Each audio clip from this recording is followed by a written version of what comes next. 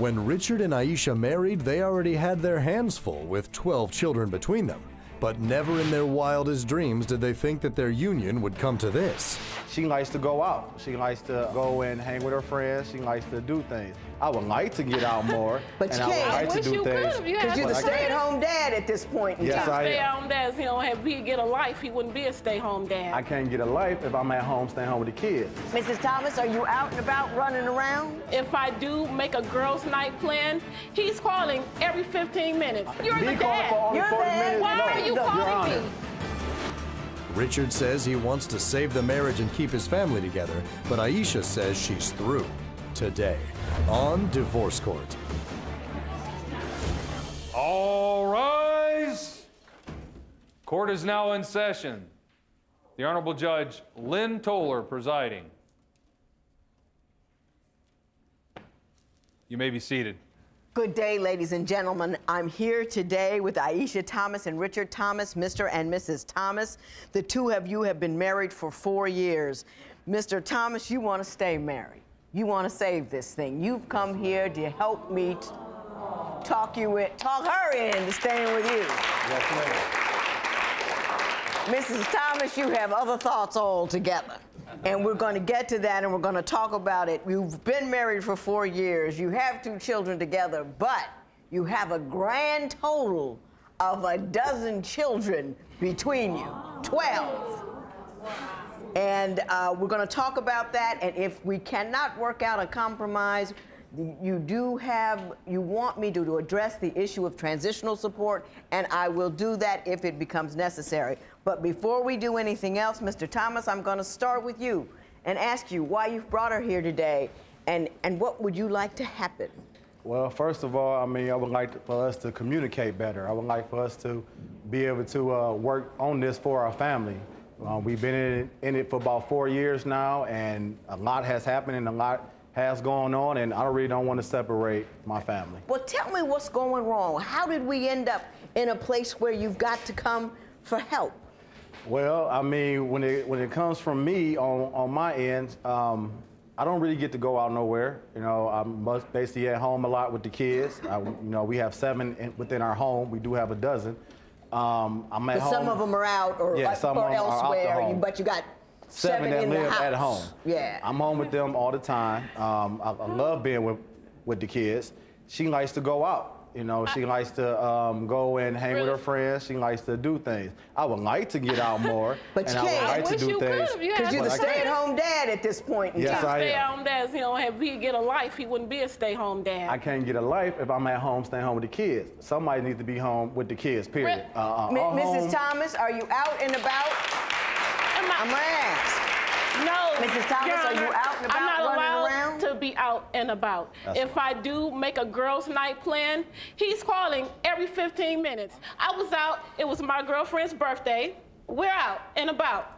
I asked before I went out, babe, do you mind if I go out, you know, with my girlfriend for her birthday? Yeah, babe, go ahead. I got it. Everything's cool. Fine. We leave. I don't have a cell phone. My girlfriend does. Mm-hmm. He calls her, at, he called, Your Honor, no lie, every 40 minutes he called for something. The Like last what? time he called, he said the kids are hungry. You're Me the calling dad. for only You're 40 the- minutes. Why no. are you Your calling Honor, me? On that day, here's what happened. On that day, on Christmas Eve, which is her friend's birthday, um, we were supposed to meet at her cousin's house to um, have Christmas the next day. We had just moved to California, and we didn't want to have Christmas without family, so we went to her family house. I took all the kids with me by bus. She was in the vehicle. I got lost on the way there. She know where her cousin stay at. I do not. I was calling every uh-huh. 40 minutes because I was lost for three find- hours. couldn't find I was lost for three Yeah, hours. but I I'm asked her to come back and at least try to at least get me to my destination or at least a clear view of that. And she was, oh, I'm already out. I'm not driving. No, We're here. we tried We're to give there. him directions. When I got there, Your Honor, of course, I'm just not meeting this cousin, so I'm just not gonna open the refrigerator and bust out and start cooking Right. all over the stove and everything like that. I'm gonna call my wife and say, "Where's the food that I asked you to bring?" When I called, her friend picked up the phone and she like, "What do you want?" I want to talk to my wife. Well, what do you need? Why Because he can't I speak to her? What is this she doing that I can't speak to her? Mrs. What Thomas, type of friend I will is tell that? you something. If I was in the, on a bus with seven kids and my husband was somewhere with a with a buddy of his, and I'm trying to get to his relative You house, gonna and want I that don't buddy know to where come and is, say what's I'm right. blowing him up until I get there. Exactly. Exactly. That was wrong. Figure you it were out. wrong, And he didn't have seven there is kids. to that, he but- only had three of Now, seven. let me tell you, I understand that you have, and given the fact that you have 12 children, it's not a surprise that you have some baby mama drama. Oh. So, it Mrs. should Thomas, be a you? surprise because he don't have any baby daddy drama. I Never do had. have baby daddy drama. Well, why Here's don't the- you tell me what is the issue at this juncture about other baby's parents? Okay, here's my issue with this. Okay, here's my issue with this, Your Honor. Some of her baby daddies make bro- broken How promises. much I've been doing the whole doing? thing for the last four or five years, and none of them came around. Nobody bought nothing. Nobody came by. Nobody calling no birthdays. When they do call, they making my kids broken promises. Now, what I'm trying to avoid is not the fact that they can't call and be and, and, and, and be around them, but stop making broken promises and sending my kids hopes and dreams down the drain in hopes of a relationship with y'all. So I'd rather not them be around. Period.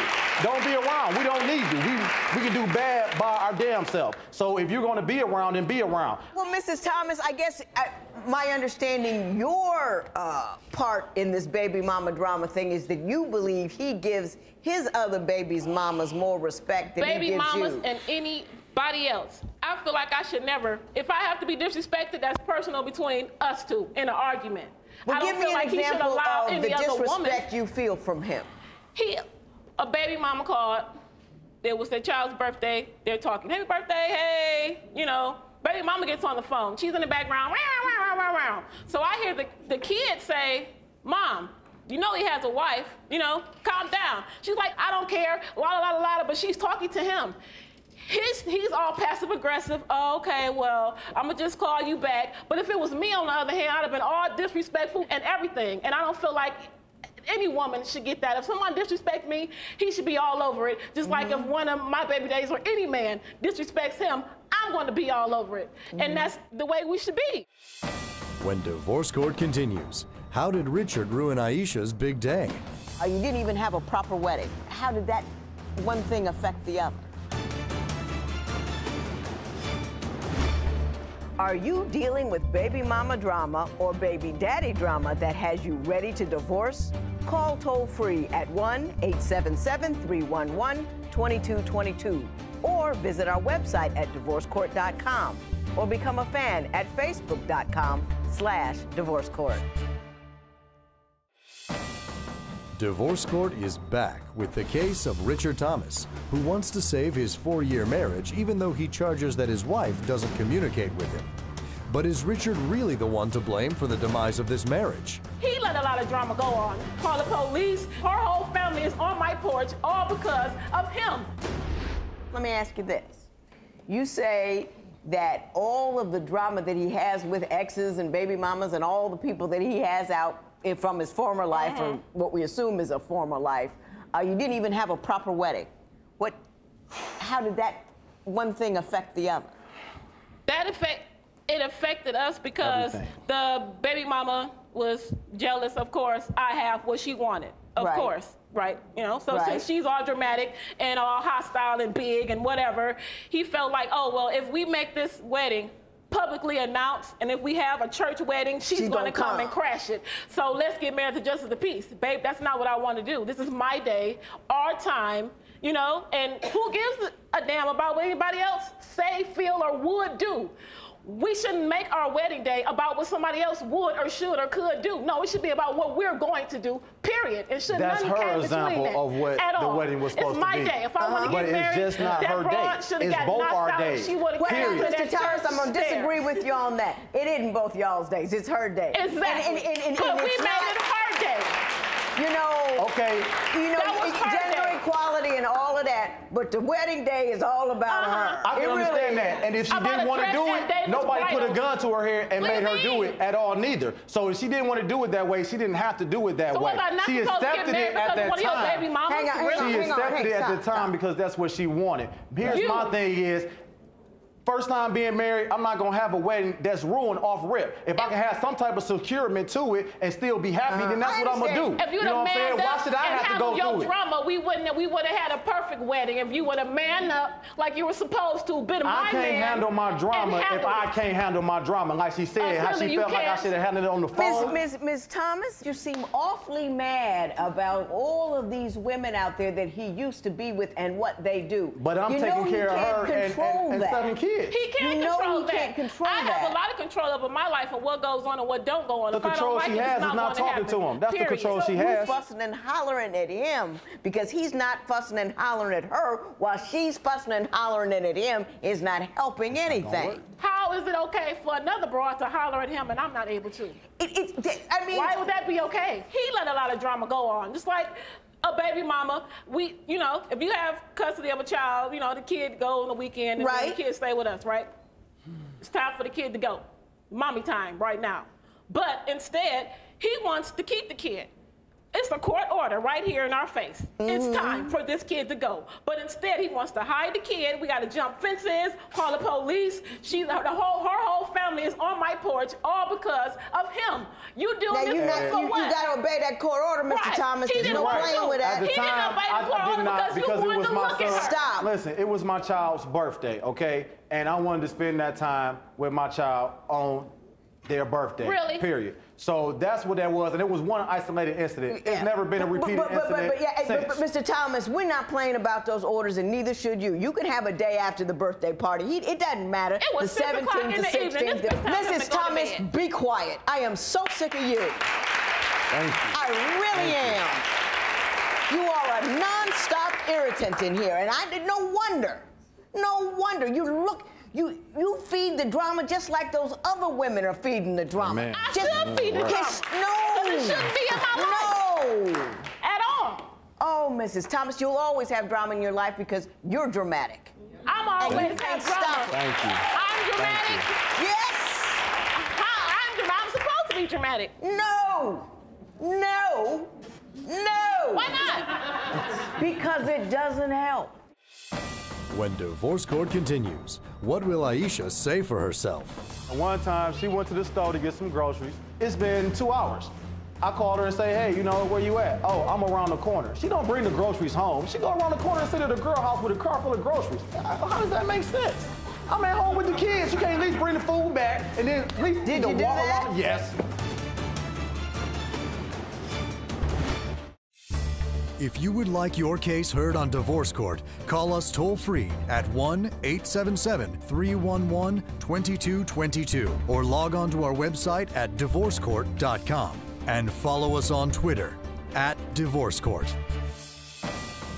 Divorce Court returns with the case of Aisha Thomas, who wants to divorce her husband of four years because she says he gives more respect to his baby's mamas than he does to her. But is he controlling too? You say he's controlling. Explain that to me. Rich is very controlling. I was going to get my nails done one day. My girlfriend says, come on, let's go where I go get my nails done at. It was a weekend. We were gone for two and a half hours. I come home, why the hell were you gone for three hours? No. I went to go get my nails done, babe. It don't take that long to get your nails done. How would you know? It's a weekend, you know? We're girls. What, what are you talking about? Now it's two nail shops. She went to one, but there's one right next door. You gonna send in one for three hours instead of going right next door? And then what the tripped up part is, when she came home, her nails fell off. I mean, they, they, they messed up. It was all, she had to go back the next day to get it fixed. They- and it was empty. I'm like, you could have went next door. You could have went to the one around the corner instead of being gone for three hours. And then in between that, the three hours that she was gone, I called. Hey, you know, is everything okay? No. Did I get a, the call back? No. Did she answer the phone? No. When she come home, she say, what's the problem? I don't want to get my nails done. What's the problem when you seen a missed call, not even calling me back after you got your nails done, telling me that you all right and everything cool. So what am I supposed to think? Didn't you know sitting next to two nail shops. You're gonna sit Right. in one for three hours and not go to the other one and say, I'm pressed for time. Let me go over here and get I'm this one Miss done. Thomas, But Miss how? Thomas, Miss Thomas, I don't think that's controlling. At all, it's I, not. I think that's, you know, you know, if I told my husband I'm going to get my nails done and I'm gone for three hours, like, hey, where you been? I mean, if he's going to go get, get That's something done, I'd cool. think, where you been? Right. That's So he- cool. Yana, But one time she to went go- to the store to get some groceries. She said, I'm about to go up the street. I mean, like six blocks from us, okay? She's going to, going to the store to get some groceries, okay? It's been two hours. I called her and say, hey, you know, where you at? Oh, I'm around the corner. She don't bring the groceries home. She go around the corner and sit at the girl house with a car full of groceries. Uh, How does that make sense? I'm at home with the kids. You can't at least bring the food back and then at least Did you do walk that? around. Yes. Come Yeah. on. What do you mean? I'm at home with the kids waiting on the food. Come on. Why would you do that? I went, my girlfriend stays around the corner. Her baby has a, a tumor. I went to go That's see. not why I know. We're talking. Her But old you girl, do come on over and it. chill, and she I'm went. I mean, you know, block and I- over. You're no one block away. You're Hey, one block away. Hey! No disrespect, but the kid will still be sick after your kids are fed. My kids weren't hungry. It was stamp day. I went to the grocery store. I was getting out of the house. I have six kids and a nagging husband who's very needy. I need some breathing room. Well, Yonder, then how she come just took every a trip. story we've gotten told in here has you out with your girlfriend? Yonder, she She's just went. She just went out of town. When divorce court continues, Judge Lynn tells it like it is. Miss Thomas, look at me. Look at me. Look at me. This man loves you and he wants to stay married to you. Yeah, sure. Okay, this, Mr. I don't Thomas, get that. Nobody else this gets is not fixable without professional help. She Yes, ma'am. need to go into Yes, ma'am. counseling Yes, or ma'am. it's not going to work.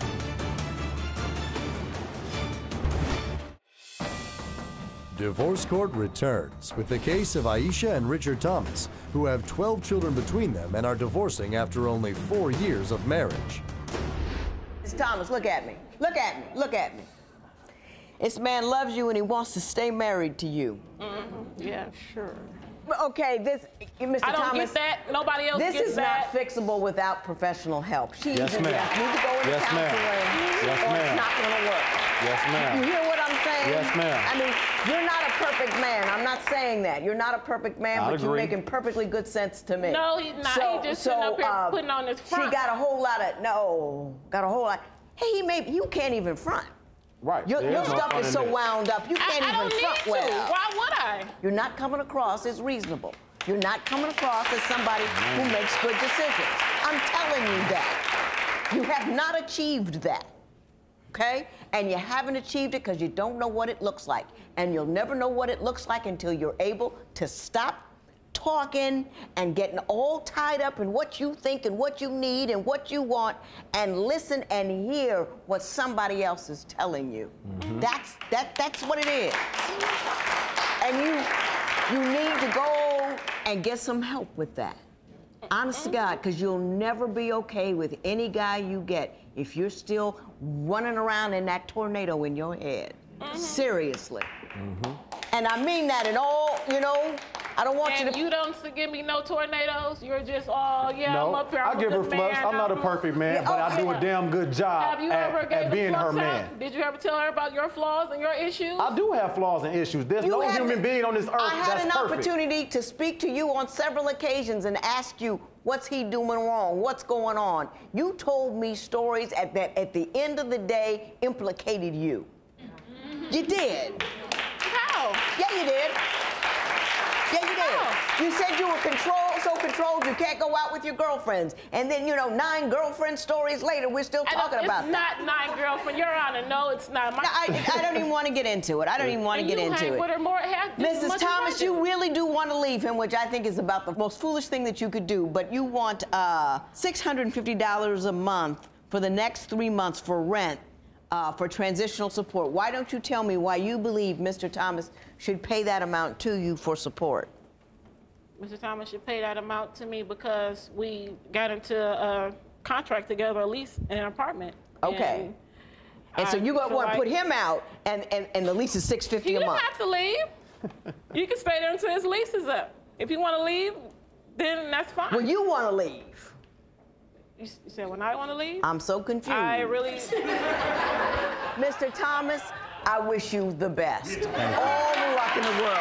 there will be no recovery in this matter. It is so ordered. All right. Parties may leave the courtroom. Aisha and Richard report they have been doing the exercises that the divorce court aftercare counselor taught them and are trying to make their marriage work. Aisha is working on not bringing up the past and is listening more and complaining less. Richard says that the show made him realize that he's a good person and shouldn't be made to feel bad about himself. They are working hard to stay together for their children's best interests.